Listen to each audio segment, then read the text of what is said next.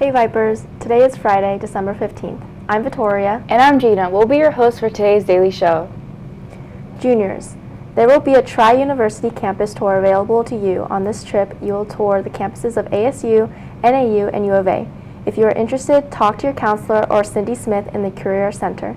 The cost is $90 for all three tours and you must pay by January 9th in the bookstore. Students, make sure to get all assignments in by next week. All teachers will be closing gradebooks soon, so be sure to get your work done. Now for your public service announcement.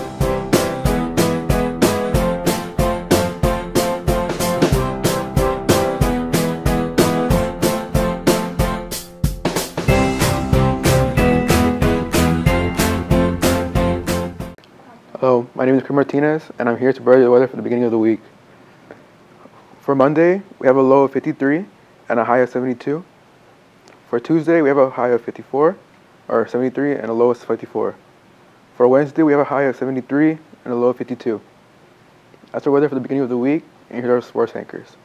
Hi Vipers. Hi Vipers. Vipers, I'm Jesse. And I'm Diedrich with the sports for today.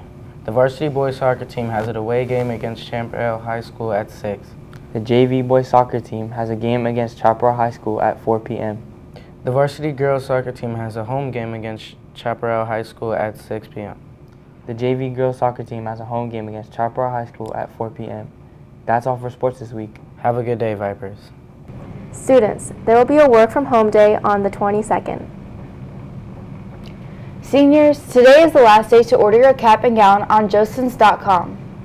Today at 6.30 to 8 p.m., there will be a winter choir show in the auditorium.